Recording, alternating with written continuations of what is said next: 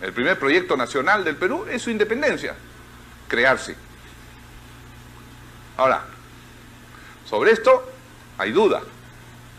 ¿Es que los peruanos querían ser independientes? Cuando el general San Martín, que venía de Chile, desembarcó en la bahía de Pisco y avanzó hacia Lima, se quedó estacionado por las pampas de Pachacamac, a unos 20 o 30 kilómetros de Lima, porque dijo, así, y lo escribió, oiga, me parece que esta gente no quiere ser independiente de España. Y mandó una carta a Lima, para que yo entre a Lima, dijo, primero firmen todos que quieren ser independientes. Con lo cual demuestra inteligencia San Martín. Oiga, ¿yo a qué entro a ser más papista que el Papa en un país que no quiere ser independiente? Están contentos con su virrey, sus oidores.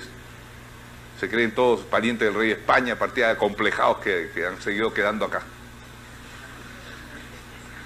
Y entonces se reunieron apresuradamente el marqués de Zárate, el conde de San Isidro eh, y, muchos peruanos, ¿ah? muchos, y firmaron. Adelante el señor San Martín, que Lima lo recibe para proclamar la independencia del Perú. Y entonces San Martín, aprovechando un 28 de julio, pues como dijo Manuel Leitón en Trujillo, ¿ya se olvidaron?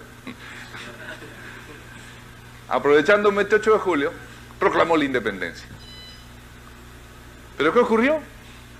Ocurrió que las tropas del virrey Pezuela se acercaron a Lima nuevamente, tomaron el Callao, y el general San Martín, con mucha prudencia militar, se retiró de Lima, porque no tenía tropas suficientes. Y entonces el virrey entró en Lima nuevamente, y el conde de la Vista Florida, el marqués eh, eh, Zárate, el conde de San Isidro, y todos los que habían firmado el ingreso a San Martín, hicieron una recepción para el virrey Pezuela. Y San Martín, ahí es donde San Martín comenzó a decidir que se iba del Perú. Porque se dio cuenta que es muy complejo gobernar el Perú. ¿eh? Yo les digo, muy complejo. Quiero esto, pero también quiero lo contrario y al mismo tiempo estoy contra todos y contra ti mismo y contra mí, etc. Muy complejo.